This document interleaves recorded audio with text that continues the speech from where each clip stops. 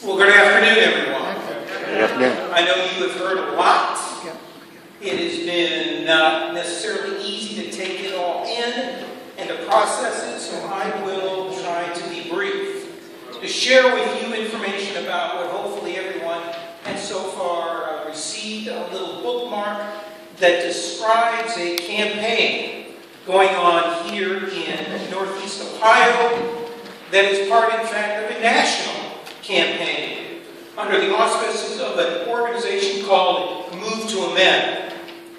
People heard and will be hearing from George Friday in a few weeks. She's come to Cleveland many times. She was on the National Coordinating Committee of Move to Amend. This is a national campaign that seeks to restore or maybe to create for the very first time authentic, real self-governance, self-determination, democracy, whatever you want to call it. For some, it's to restore. For others, hey, we never had it to begin with. Wouldn't it be nice? And the way to accomplish that, at least one important step in that direction, is to end two bizarre constitutional doctrines. The one says that money equals free speech. Goes back to the 1970s. The second says that corporations are legal persons. So let's take each of those real quickly.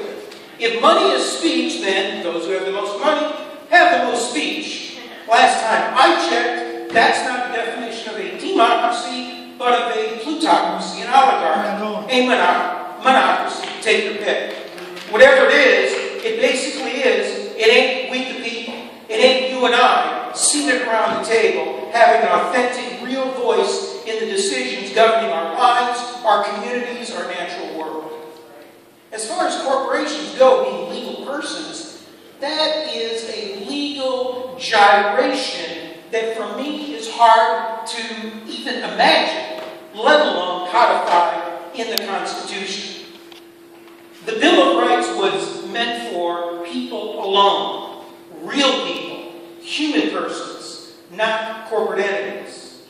Yet it's been manipulated. For the very first time, the 14th Amendment, which was passed to provide free black slaves due process and equal protection, yet was perverted by corporations to say, aha, corporate attorney said, should apply to us. By the mere presence of corporate constitutional rights and money being defined as speech, what we have today is, someone mentioned before, our country is broken. I disagree. Our country is not broken. It's fixed. As in rigged. Rigged to benefit the wealthy few and corporations. It's been this way for a very long time. And despite, with due respect, who we elect, that's important to work on campaigns to elect or unelect people. But despite who we elect, and despite the laws or the regulations we pass or get rid of, which are also important, but if all we do is focus on trying to change the players of the game, that's what elections are, or trying to change the plays of the game, that's what laws and regulations are.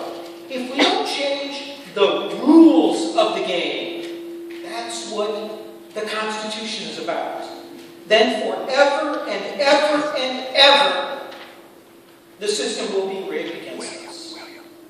It's as if, using football metaphor, since we are in Super Bowl season, if we, the people, have to begin on the one yard line and have to go 99 yards, but the power elite gets to start at midfield and has to go only 50 yards, who's going to get and score more often? That's what we are up against. And every single year, it seems like that the power elite gets closer to the goalpost. And will forever and ever be that way unless we change the rules of the game. So, Move to Amend is a campaign that seeks to do that. To call for a constitutional amendment to end these constructs that corporations are people, money is speech, and the way to do that is to do a grassroots social movement.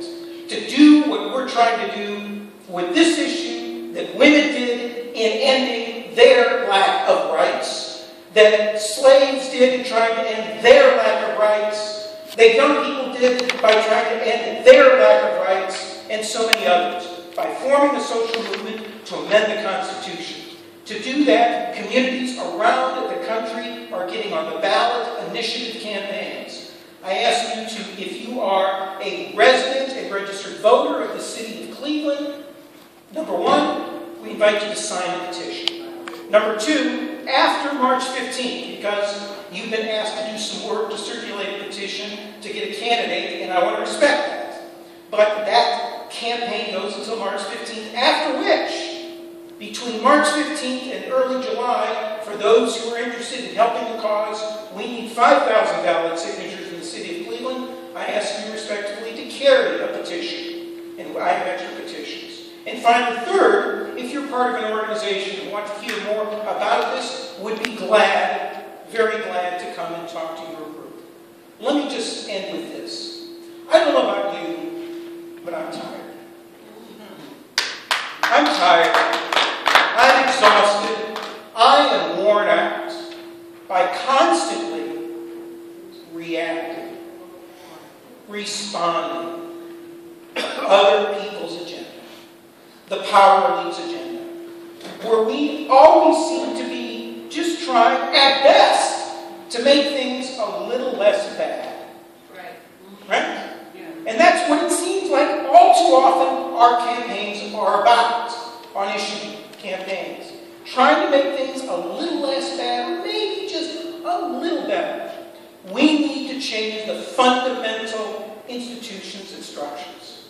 We can't do that unless we change the rules of the game. I want to go on the offensive. I want to put the power elite on the defensive, if you will, to back up and put them on their heels. Here, for once, refreshingly, is a way where we can do this. And we can do this by sending a powerful message, getting this measure on the ballot in Cleveland, sending a message, joining 500 other communities around the country that have already weighed in on this. And as part of our, and I'll end with this, as part of the Cleveland petition, initiative petition, someone mentioned before, we cannot, in the city of Cleveland, those of you who are residents and show up to city council, you cannot speak Right? There is a provision in this that calls for an annual public hearing.